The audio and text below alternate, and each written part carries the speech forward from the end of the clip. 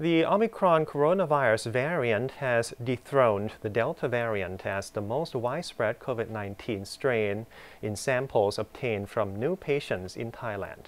Meanwhile, Dr. Yongpoo Thailand's top virologist, has indicated that Omicron is extremely transmissible and will inevitably replace Delta as the dominant variant globally.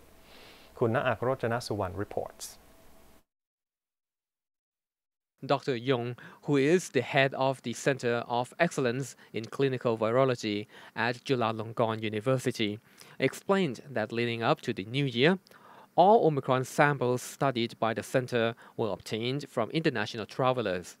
However, most samples obtained from January 5th onwards were from local transmission cases, and all samples studied from January 10th onwards were from patients who contracted the virus locally. Dr. Yong said the Omicron variant has been spreading faster than earlier anticipated, adding that it is able to spread much more rapidly than the Delta variant. He also said that the Delta variant took much longer to replace the previously dominant Alpha variant compared to how quickly Omicron is aging its way to its dominance. Reports from the Department of Medical Sciences indicate that about 5,400 Omicron infections have been confirmed from cases in 71 provinces.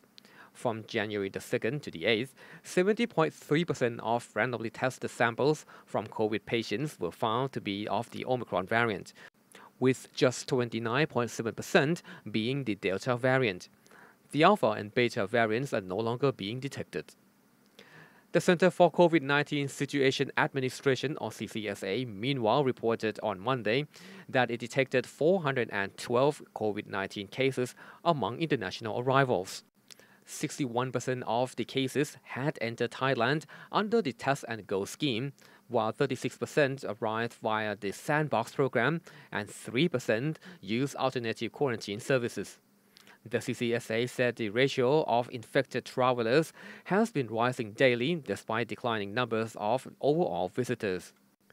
Additionally, the CCSA today reported 7,133 new COVID patients with 12 fatalities and 3,306 making full recoveries.